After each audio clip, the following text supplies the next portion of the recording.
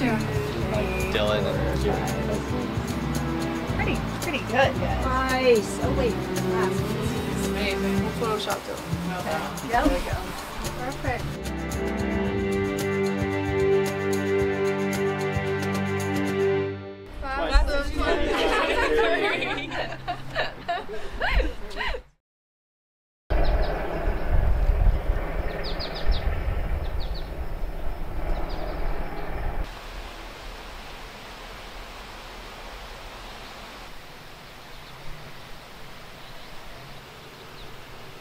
I create pastel landscapes um, of places that are a little bit important to me, I suppose. Uh, I like to experiment with my color choice, uh, make things look really vibrant, but sometimes different. Um, I really like to capture the way that light falls on landscapes and like structures and stuff like that. I've lived in Killington, Vermont um, my whole life. Um, I really just take a lot of inspiration from nature. I think it's really beautiful, especially in this state.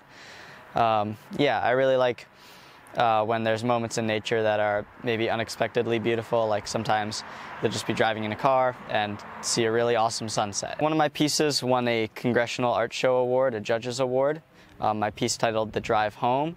I think it won the award because the judge was looking for uh, a piece that really showed uh, artists that could really control the way that light looks within an image and the way that light interacts with the world and the colors around it. And my piece really does that. Um, it captures a sunset uh, in Mendon, Vermont, uh, as a roadscape. So there's a truck driving by, and the sunset is sort of reflecting off the car a little bit. And um, it's a December day where the snow is really light on the ground, and I work a lot with colors and make it so that the snow isn't exactly white, but really reflects the sunset. Um, and it's an overall really beautiful piece, I think. Maybe that's why I won. I think it's one of my favorites for sure.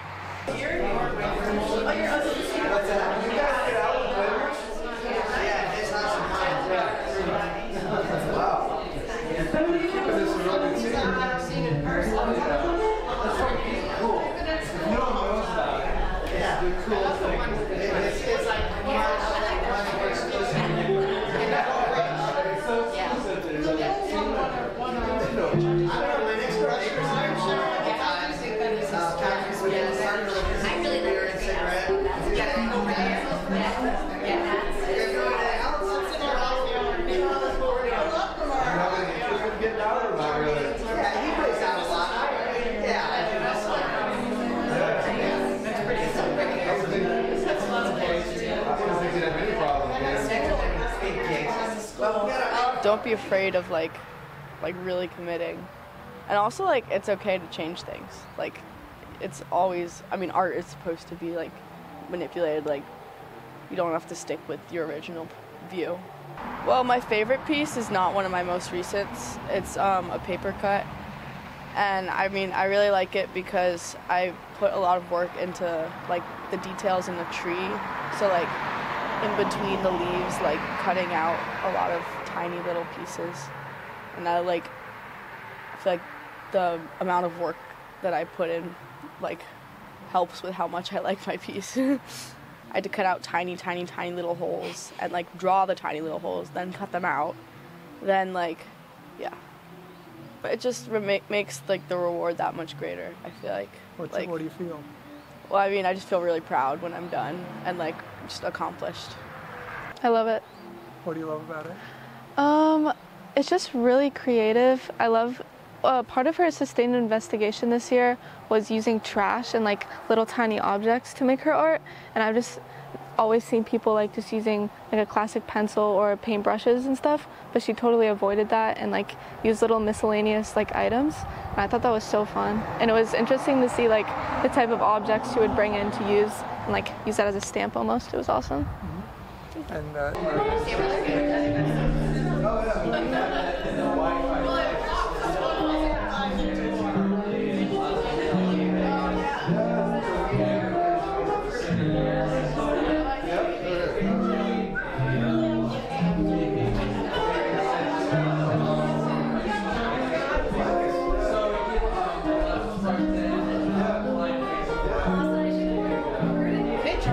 this year for my invest my investigation, I um, worked a lot on surrealism and th- I studied the surreal art movement and tried to incorporate that into what I was doing this year. And a lot of my pieces are commemorating just like special moments to me and special experiences. And I want people to feel joy when they see my art, and I want them to, I want it to serve as a reminder to be playful in your everyday life and have some fun. So I tried to romanticize like certain parts and aspects of my life. Like there's one of my pieces called In My Room, and it's just about like going home and being in my room every night. I go in, out and do the goats because that's part of my chore. So it shows like my room in sort of like a mystical way, and it shows like I really like Hello Kitty. So there's like a little Hello Kitty car with like goats jumping all around, and I don't know. I thought it was just like a fun way to see my everyday life.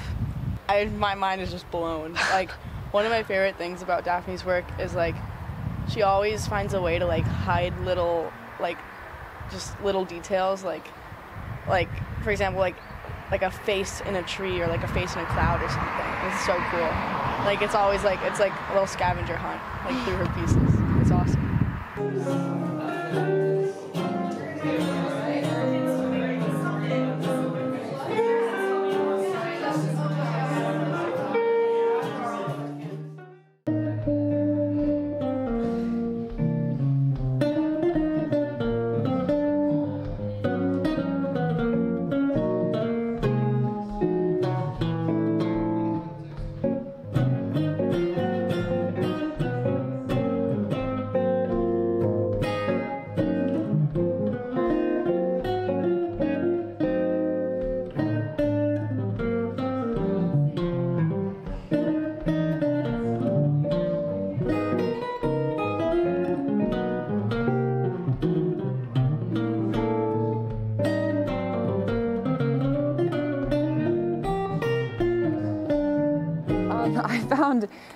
I really had no idea what I looked like until I started doing portraits.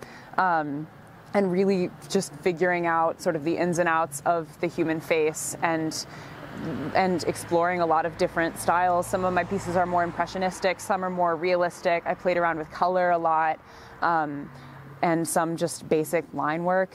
But I, I found that you know there was a lot I had to learn about how I perceive myself.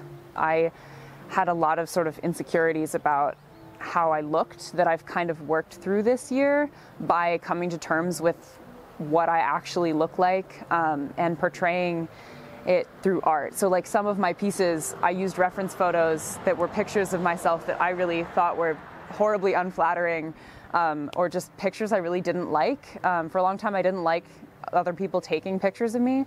Um, but since I started using those pictures as references for my art and art that I'm very proud of, it's helped me gain a lot of that confidence.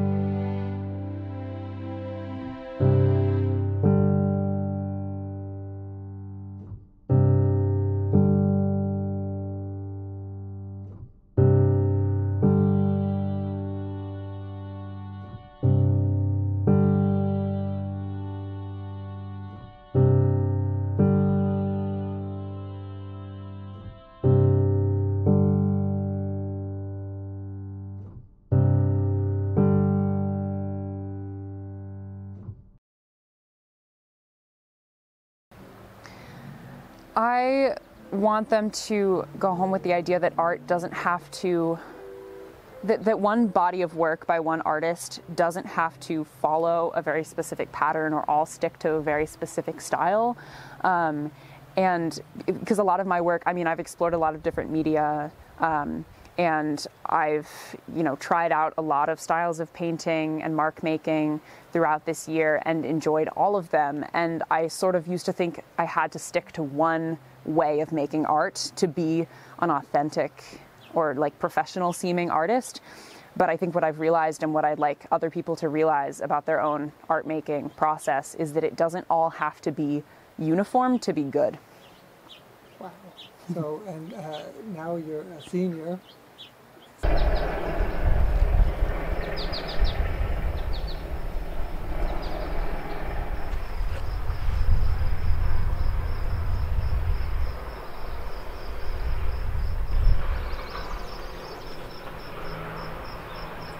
I mean, it's kind of a crazy time of year because I'm graduating right now, so it's hard to reflect. But um, yeah, looking back on it, it was definitely a great experience in high school making art. I'm going to Penn State for architecture, so not exactly studio art, but definitely an artistic field where I can continue to be creative.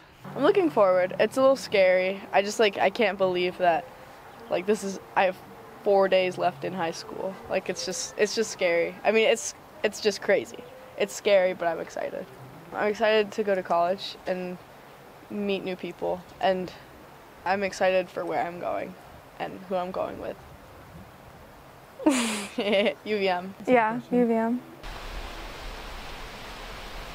Um, I'm really, I'm, I'm looking forward. I'm, I'm very excited about the next four years of my life. I'm going to go to Swarthmore College, um, and I have recently decided that I might do a, a minor in visual arts actually, because I really don't want to um, sacrifice my love for making art for other academic pursuits. Um, I think I'm going to major in religion towards my career aspirations, but I, you know, I really want to keep doing art as a big part of my life, and I've loved this class so much. So that's sort of what I'm looking ahead to right now. Thank you.